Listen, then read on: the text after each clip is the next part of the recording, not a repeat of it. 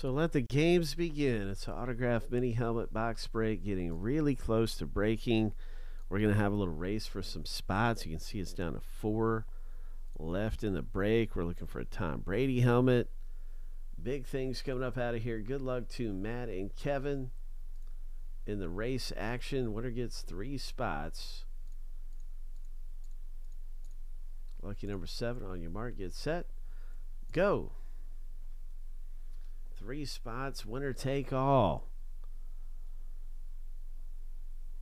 Matt got a good jump off the line, but Kevin's right there.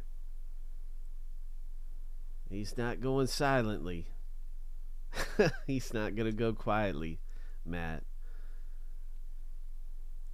But Matt, don't give up. Oh my gosh. Look at this. Look at this. There's a race victory for Matt. Congratulations.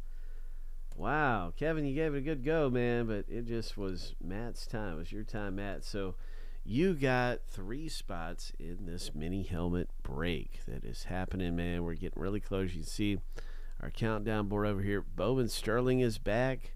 We're down to 10 left. As a matter of fact, Kevin won the race previously for Bowman Sterling. Uh, you can see our hottest boxes up here. So, uh, what comes around goes around. I'm sure Kevin will be back for some more race action. But a big congrats to Matt in the mini helmet. Filler race victory. Boom.